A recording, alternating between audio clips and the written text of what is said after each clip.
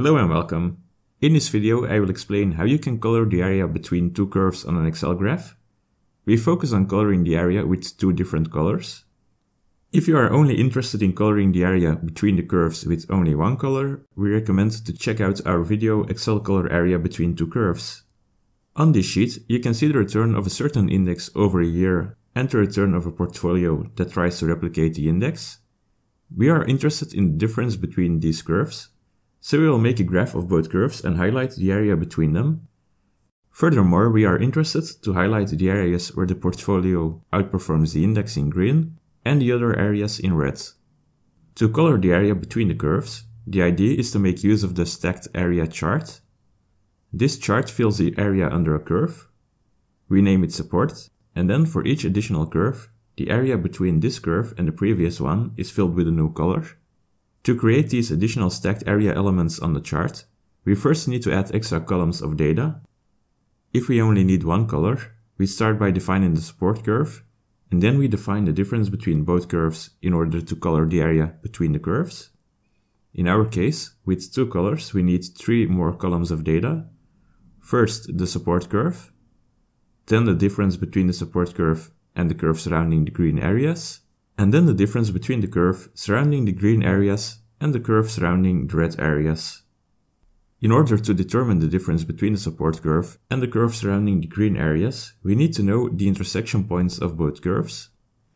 This is the case since we want to highlight all areas in green, where the portfolio return curve is above the index return, and the other areas in red, we have already prepared these calculations in the Excel workbook. As you can see, the computation is quite lengthy, but not too hard to understand. To provide the reasoning for this computation, we have added an extra table to the workbook.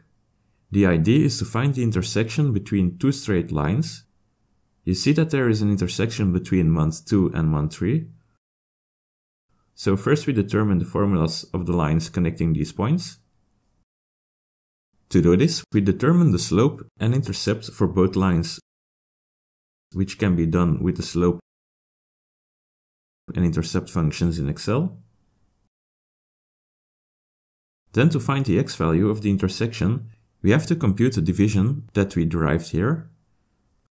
Finally, to find the y value of the intersection, we fill in the x value into the equation of one of both straight lines.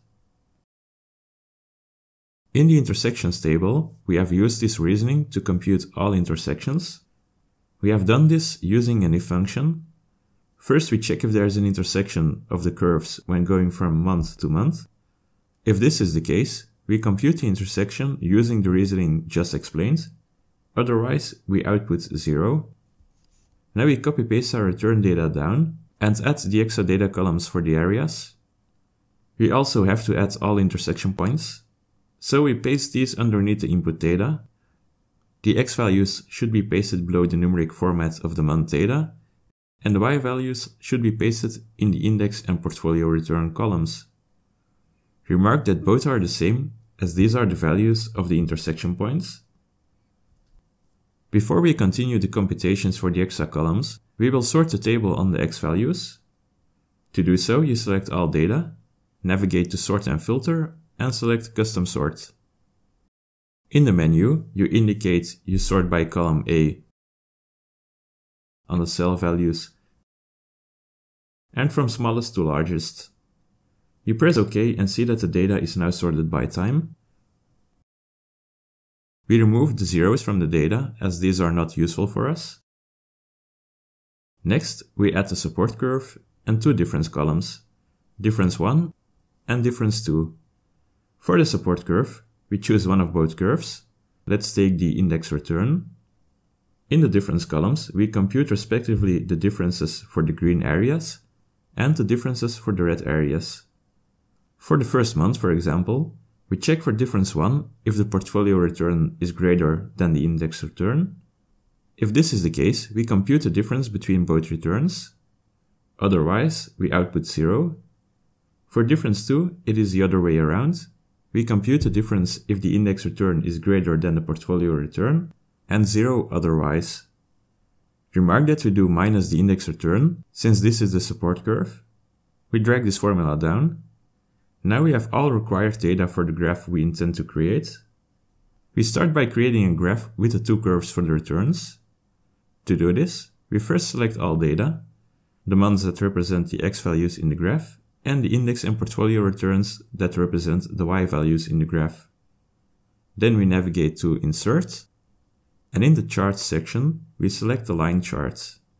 As you can see, a graph appears on the screen with two curves, one for the index return and one for the portfolio return. The x-axis appears in the middle of our curves, since it is located at the 0y value.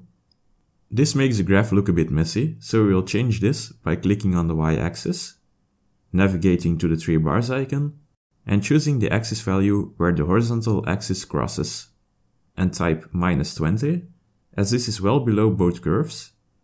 We give the graph a name. I'll take index versus portfolio return, and we're done with the graph appearance for this video. Now we go back to our chart, select Chart Design and click on Select Data. A menu opens where we will add the newly defined data columns. We click on Add, select the first column of data, which is the support curve. As series name, we select cell E28, and as series values, we select range E29 till E48. We do the same for both difference columns, F28 as series name and range F29 till F48 as series values for the first difference column, and G28 as series name and range G29 till G48 as series values for the second difference column. We click on OK and see that the lines appear on the chart. As mentioned before, we want to make this extra data appear as stacked areas in the chart. To do this, we select Change Chart Type. In the menu, we select Combo. For both the index and portfolio returns, we choose Line as before. And for the support and difference, we choose Stacked Area. We press OK and see the area between the curves colored in yellow and blue. We still have to remove the gray area and change the colors of the areas and curves now. To do that, you select the gray area, go to Format and set the shape fill to no fill. We click on the portfolio return curve, go to Format and set the shape outline to green. We select the index return curve, go to Format and set the shape outline to red. To change the areas themselves, you click on the yellow area, which should become green, we go to Format and set the shape fill to green. We do the same for the blue area by selecting it, going to Format, and setting shape fill to red. Let's make the legend a bit clearer. We delete support from the legend since we don't need this. To do that, you double click on the legend, then double click on support, and press delete. Finally, we change the names difference1 and difference2 to portfolio return greater than index return and portfolio return smaller than index return. To do this, we go to chart design, press on select data. Here we select difference one, select edit and change the series name to portfolio return greater than index return. We press OK and do the same for difference 2. We select it then click on Edit and change the series name to index return smaller than portfolio return.